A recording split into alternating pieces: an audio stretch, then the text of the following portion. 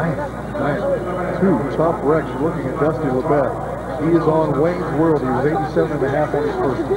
All right, he needs to get it going right there. Chalk on for Bull Wayne's World. And, oh, he's got a seat on him. You know, he gets to pushing on that rope, sets up there, rides him like no problem. The best.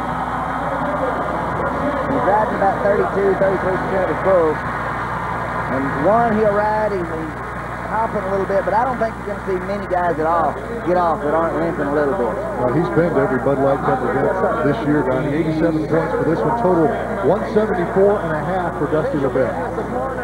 Well, that's the reason he's in the top 45. And then he'll stay there. And, and he rides very good, but he's too streaky right now. He, that keeps him from the gold buckle chances.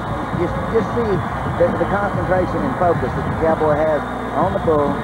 He rides this one perfect. When he gets to where he can put three in a row together on a consistent basis, Dan, he could be really tough to beat.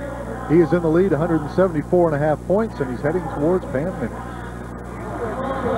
Thanks, Dan. Dusty, after a great score in round one, what was going through your mind to stay focused in this round? You know, it's always, when you always get a bull that you know you always want, it sort of makes it tougher for me to ride because, you know, I, I don't want to embarrass myself in front of all these guys, but you know, it just was a great bull, and uh, I just had fun riding them, and, you know, I'm just doing what I love, and, and I'm not complaining one bit. You're doing a great job. Dan?